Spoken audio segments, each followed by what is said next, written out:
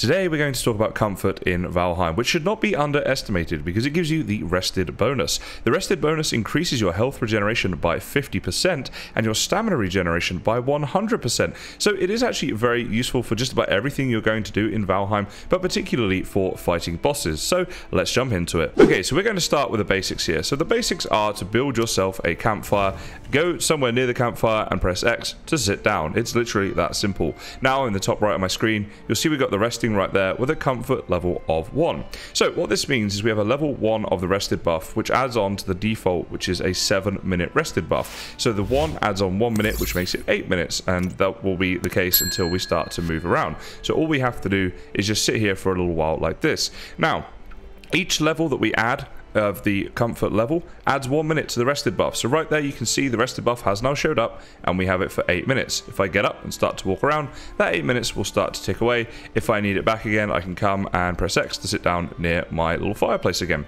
So the maximum level at the moment in the game is 17. Well, that is quite difficult to get and requires a bit of luck, which I'm going to come on to later on in the video. You can also theoretically get a comfort level of 18, I believe. We're going to test that out and it requires cheats. Again, that's more advanced. We're just sticking to the basics for now.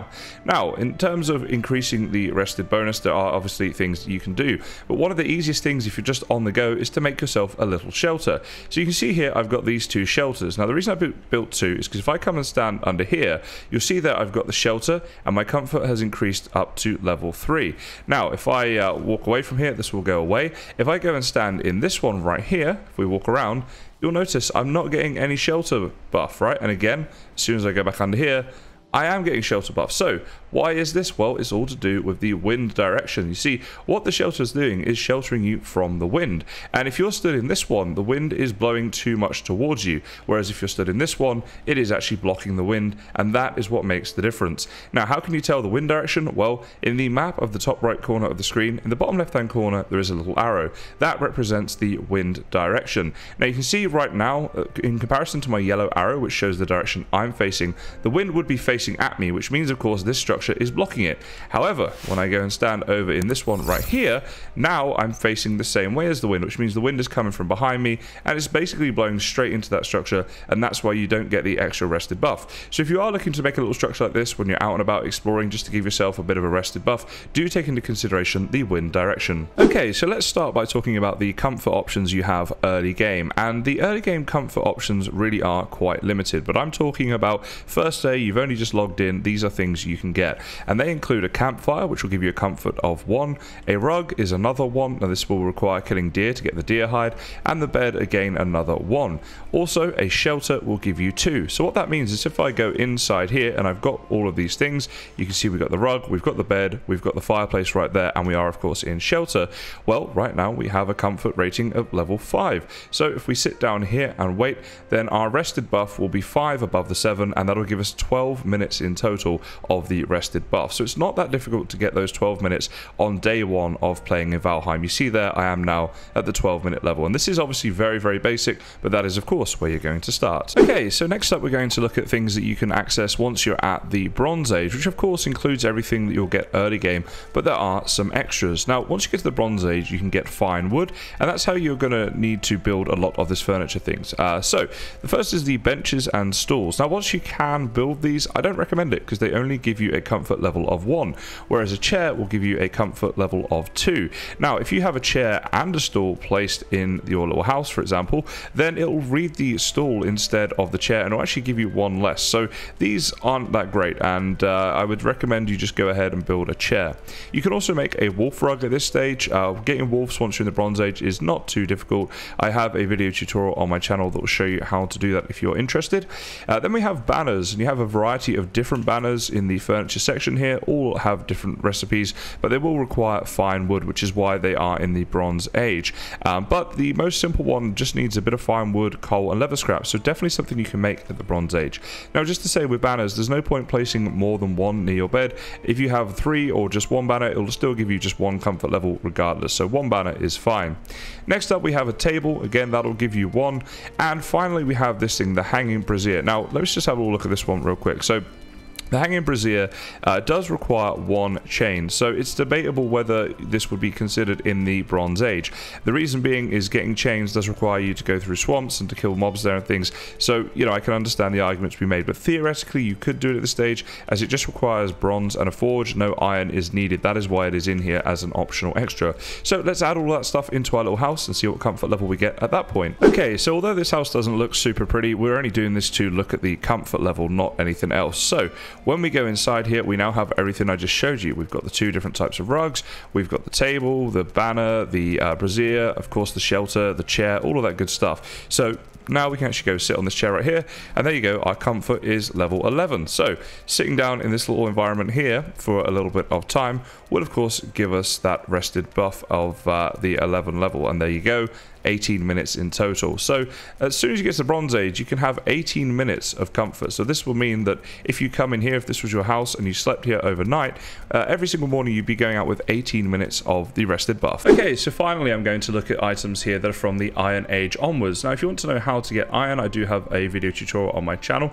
but essentially these are all of the late game items that you can get once you have iron available to you. So we're going to start by looking at the upgraded bed, which is the Dragon Bed, which has a comfort of 2 instead of one for the normal bed.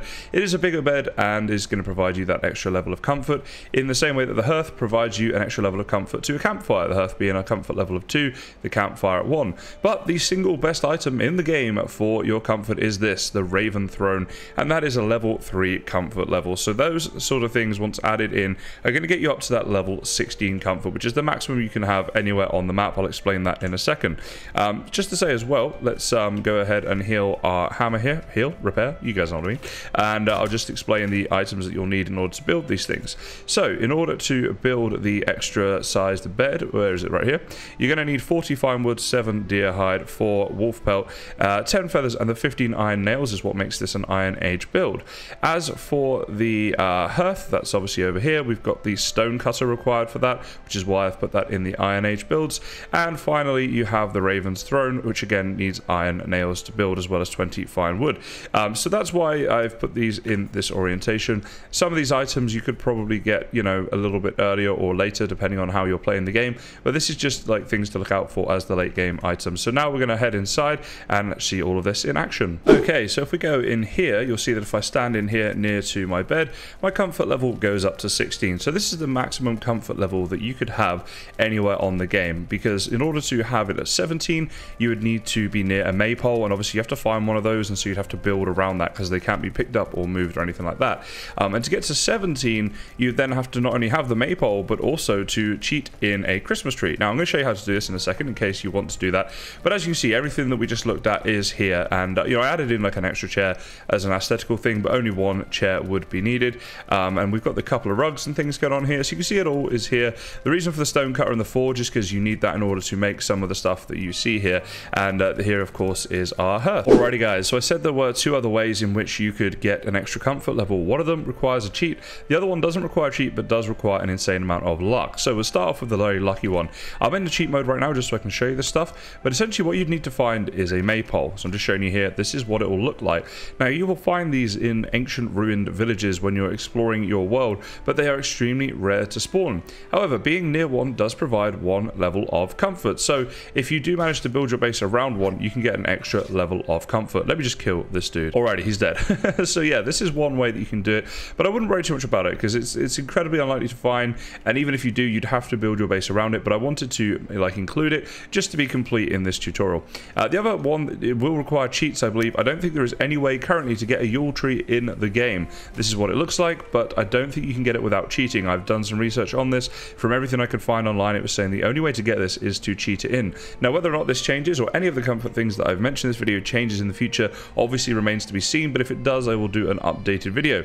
But if you have this in, it will give you an extra one level of comfort. So Technically, if you were to have this Yule tree and this uh, maypole right here, and then build the base I just showed you around all this stuff, you would have a full comfort level of 18, and I don't know of any way currently to get that any higher. Incidentally, if you do wish to cheat in a Christmas tree, here is how you do it. Press F5 to open your console, type in I'm a cheater, just like this, and then you want to type in debug mode, or one word like that, and it will say debug mode is now on false. Actually, we want that to be on true, I guess that was already on false, so there we go, Put, set it to true, basically, And then when you come out here, press B, and you'll see in the top left of the screen it says no placement cost is true. At this point, you can right click and choose anything that you want to place, including this wonderful Christmas tree. I won't talk too much about the other things you can place because I don't want to include any spoilers here, but this is just to mention how you do this if you so wish. If you guys do think I missed anything or want to add anything to this, please do let us know down in the comments. And if you're enjoying these Valheim tutorials and things like that, please do consider liking and subscribing for more. It really is greatly appreciated, guys.